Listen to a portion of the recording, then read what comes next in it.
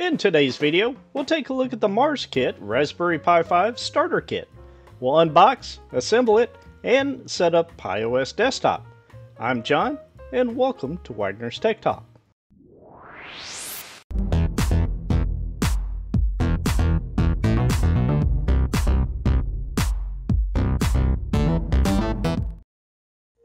I would like to thank Mars Study for sending over this kit for review. The version we'll be looking at is the 4GB Raspberry Pi 5 kit, and from the box it appears they are located in the UK. At the bottom of the box we'll find all the specs for the Pi 5 itself. Let's jump in and see what all is included.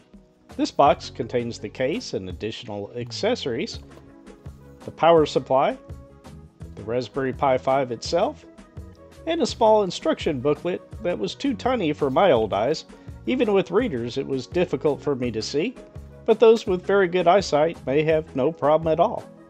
Also included are two HDMI cables. One end has a micro HDMI and the other a full-size HDMI. And again, there's two of them, just in case you want to connect two displays to your Pi 5. The included Pi 5 is the 4GB model, on the board itself, they placed a small resistor on the board to identify the amount of memory. On the side, we have the Ethernet port, two USB 3 and two USB 2.0 ports, as well as a USB-C for the power and the two micro HDMI ports. If you are looking for a more detailed discussion on the Pi 5 itself, please see the Pi 5 Getting Started Guide, which I will have linked below. The included power supply is 5.1 volts, 5 amps, and 25.5 watts, and is not the official Pi Foundation power supply. The box that contains the case has the bulk of the kit, including a 64GB micro SD card, which contains the 64-bit version of PiOS pre-installed. That is, you won't need a separate computer to image the card. There is a small USB thumb drive that allows you to insert a micro SD for imaging a different operating system directly from the Pi. It also has both a USB-A and USB-C connector, which is a nice addition.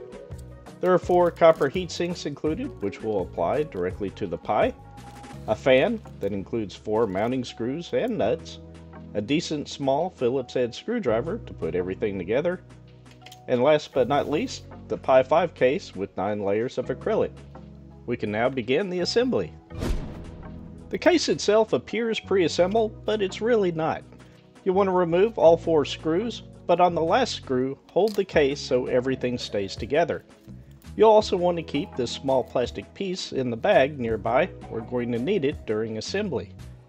For each of the 9 pieces of acrylic, you'll likely want to remove the protective covering on each. That is, of course, 18 pieces to remove, and some of the sections can be a pain to peel off.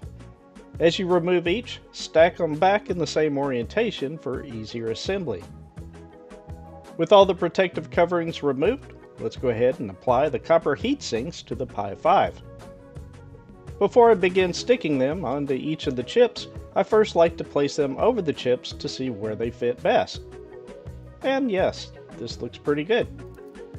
Now you can remove the adhesive protection and apply the heatsink to all four of the chips as shown here. Give each a little push to make sure they adhere well. And now all four are applied and it looks pretty good. You can use your fingernails or a pair of tweezers to remove the small plastic cover over the fan connector near the USB ports. I prefer to set up this case from the bottom up. To do that, take the bottom two pieces and place them together and then slide in two screws from the bottom diagonally from each other. We will only use these screws temporarily as a guide during the installation and swap their orientation once fully assembled. That is, we want the nuts on the bottom of the case and not the top. Now position panel number 7, making sure the cutout for the power and the display port is on the bottom.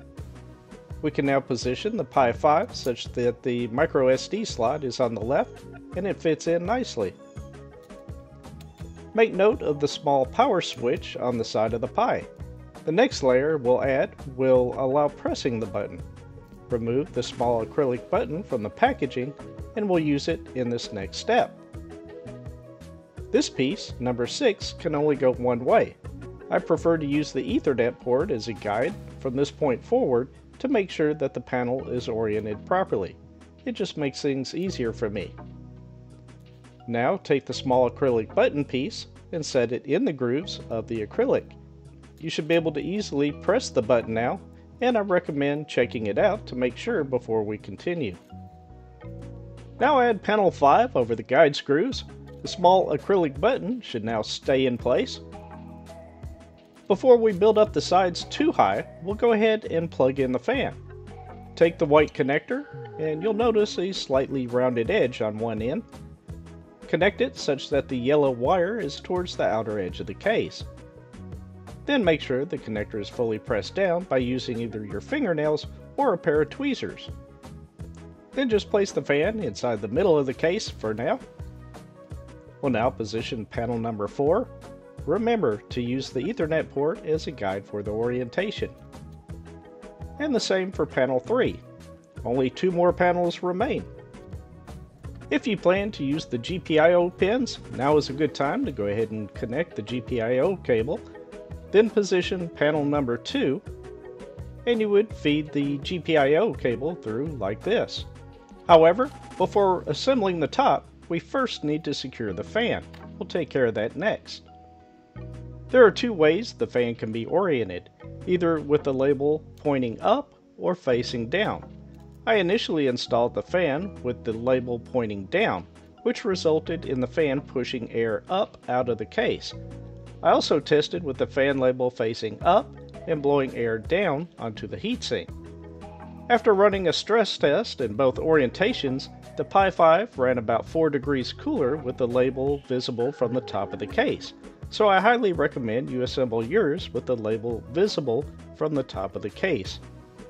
The orientation of the fan that you see here was during my initial test with the label pointing down.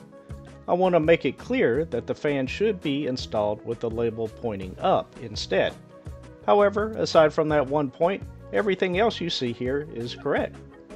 At this point, it's simply a matter of dropping in the screws into the empty holes and securing them with the nuts.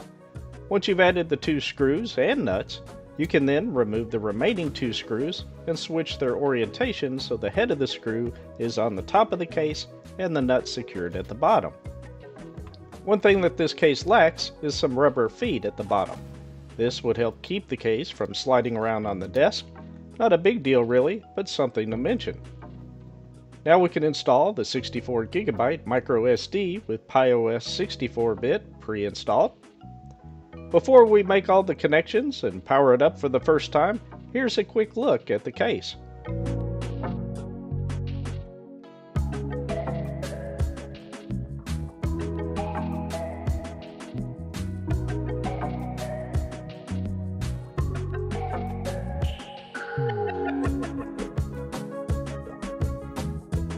As a reminder, if you want to image a different operating system to a separate microSD card, you can insert that microSD card here and then plug it into one of the blue USB 3.0 ports for faster write speeds.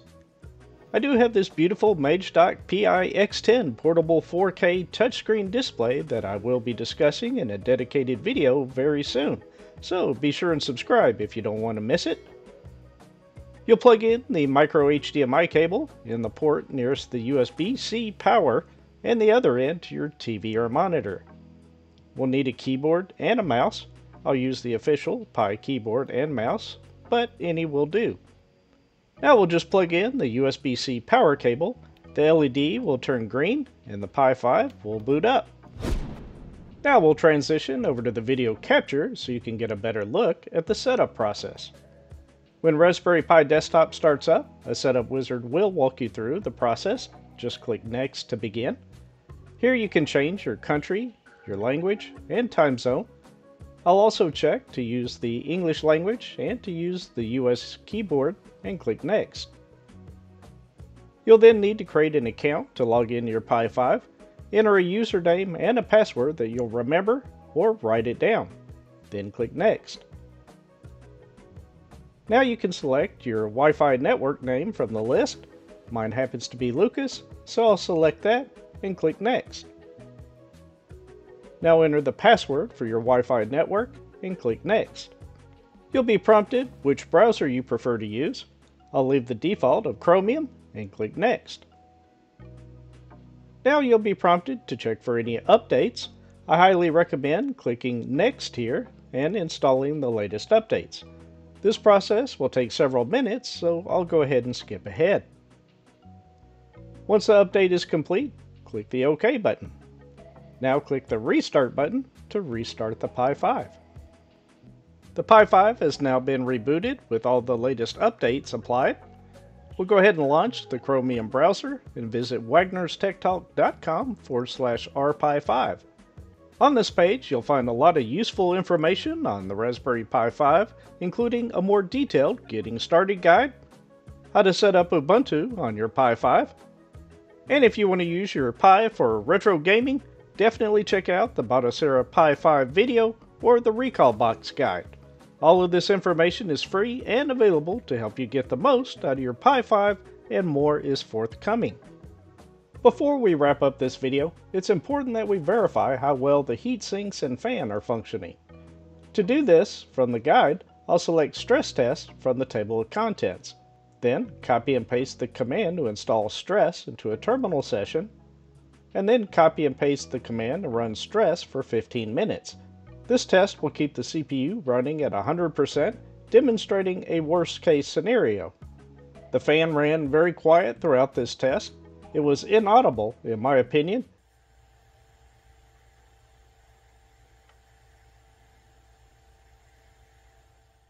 When it comes to the maximum temperature reported, it was 77.4 degrees Celsius, which is below the 80 degrees until thermal throttling occurs. Thermal throttling is when the CPU performance is reduced to avoid overheating. Also, I'd like to point out that it was running nearly 2 degrees hotter than the Pi 5 active cooler. Overall, I think the Mars Kit Raspberry Pi 5 starter kit with a 64GB micro SD card is a nice kit. I hope that Mars Study will consider adding four rubber feet to the kit, and some may find adding the active cooler to the case may keep the Pi 5 a bit cooler. However, the case design is very unique, albeit a little time consuming to assemble. The kit is currently available on Amazon. I'll place a link in the description below if you're interested. It's around 140 US dollars. What do you think of the Mars kit? Let me know in the comments below. I hope you found this video helpful, and if you did, please click the like button. It does help the YouTube algorithm show this video to more people who are looking for a Pi 5 kit. If you haven't already subscribed, it's always free, and I hope you'll consider doing so. And with that, I look forward to talking with you again very soon.